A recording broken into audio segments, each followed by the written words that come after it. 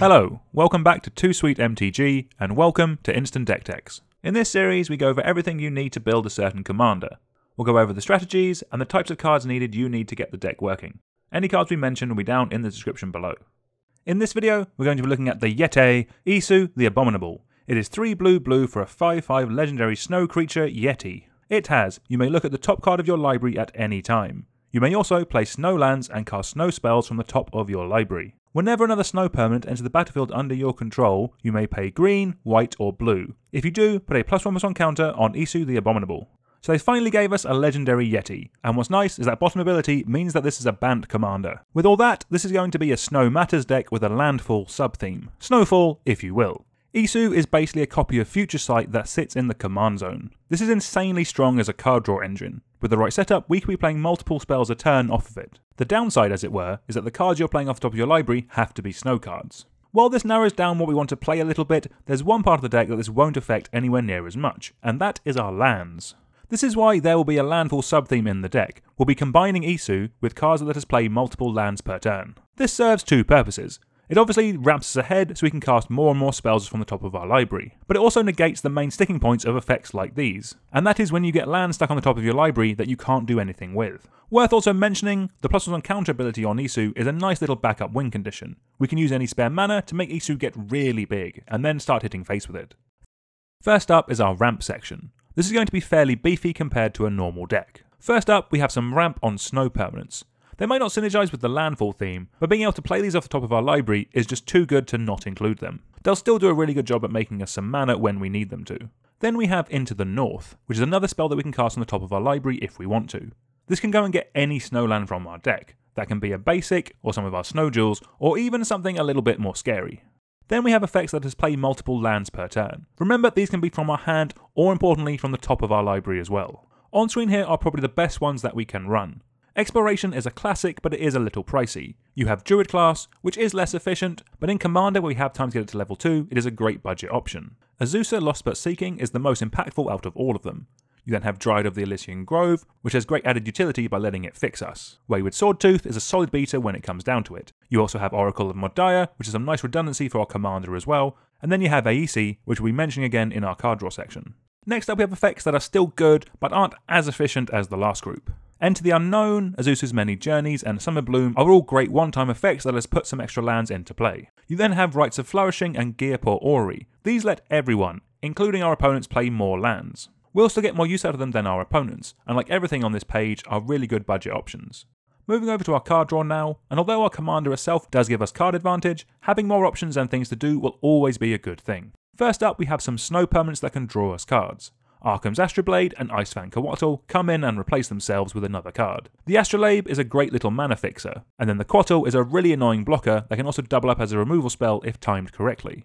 You then have Ascendant Spirit, which can level up to be a 6-6 angel that draws a card when it hits. You can actually activate their bottom ability more than once if you want to keep buffing it up and draw more cards when it hits. Ohran Viper is another great snow creature that draws us cards when it deals combat damage to a player, which again shouldn't be an issue with its pseudo death touch. In a similar vein, you have Ohran Frostfang. This makes all of our creatures draw us a card whenever they deal combat damage, and fantastically, it's also a snow creature, so seems a slam dunk in the deck. You also have Frost Augur and Pilfering Hawk, perfectly fine creatures that can change the top card of our library to let us play something else if we need to. Then we have Blessing of Frost and Graven Lore.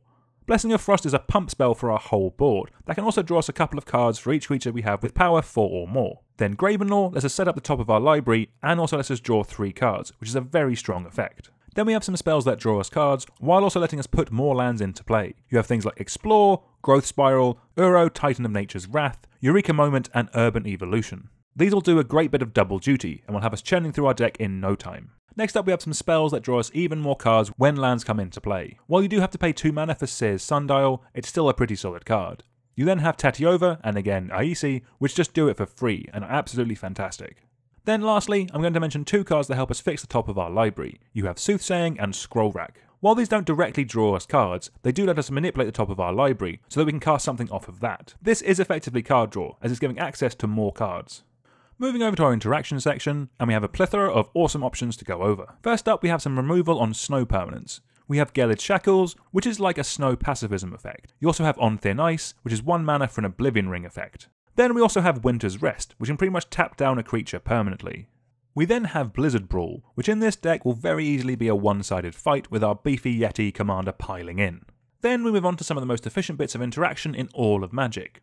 You have Path to Exile and Swords to Plowshares, which are just the best at what they do. One white, creature gone. Absolutely perfect. Then for a bit more mana, you have Beast Within and Generous Gift, which can answer absolutely anything. That flexibility is worth the extra cost. And then because we have the access to white, we have some of the best board wipes that we can play as well. There really is just plenty of options out here to suit anyone's build and anyone's budget. I personally quite like Time Wipe in this deck as a way of saving our commander. Talking of that commander, because it's basically an engine that keeps the deck going, having some protection to keep it around will be very important. First up we have Blizzard Strix. This is importantly here as it is a snow permanent that we can play off the top of our library at any point with its flash ability. What it does is flicker our commander if anyone ever tries to remove it. Then we have some more standard fare with Lightning Greaves and Swiftfoot Boots, as solid option in this deck as any that revolves around the commander. Then you have cards like Heroic Intervention that at a pinch not only protect our commander, but our whole board as well. And then because we have access to blue, you can also look at running some counter magic if you think your playgroup is a little more trigger happy with its removal. Okay, let's move on to some cool ways of actually winning the game. First up, we have effects that make us creatures whenever a land comes into play. With all the effects that let us play extra lands in a turn, combined with the card draw engine of our commander, these will make us an absolutely obscene board state in no time at all. We then also have a card like Moritte of the Frost, which can either be a second copy of a Rampaging Baloth or an Avenger of Zendikar for even more token making fun. It could even be an Icebreaker Kraken, which in this deck could very easily just be an 8 8 for 2 mana. Its ability we could easily get to use again and again, as we could feasibly be playing 3 lands a turn in this deck, so we can repeatedly be tapping down an opponent's board. Another strong card in this deck is Adarkar Valkyrie. This basically turns any removal into a theft effect, which could be really strong and lets us turn our opponent's best cards against them. And then we probably have the most well known snow based finisher of all Dark Depths combined with Thespian Stage. With these, you can make yourself a 2020 Squidly Eldritch Horror and go to town on your opponent's life totals. A newer way of making that flying beater is with Marit Lage's Slumber. In this deck, we could just easily be making this on turn 4 or 5, which is a very scary prospect.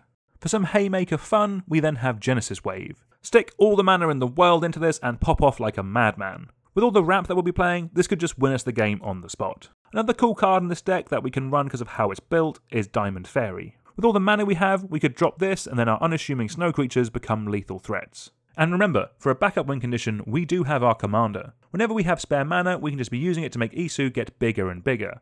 Slap a Rancor or a Loxodon Warhammer on that lad, and it'll be lights out for your opponents before they even know what hit them. Rounding off the deck with some utility lands, I personally wouldn't want to run too many in this deck as we do need that density of snow lands to be as high as possible to make the deck actually function. That would mean I would personally only be looking at running these three. Faceless Haven is a really nice little man land that can attack or block as we need it to. Scrying Sheets lets us remove something from the top of our library into our hand, like a land for example if we don't have something like an exploration out. Then Mouth of Ronom is just a free bit of removal that this deck gets to run, which is pretty nice. The rest of your mana base will be very dependent on what you have available to you. We've recently released a video with some advice on building a deck with a budget mana base, which might be of help. Until next time, please like, share and subscribe, and let us know down in the comments if there are any commanders you'd like to see a deck tech on. Thank you very much for watching.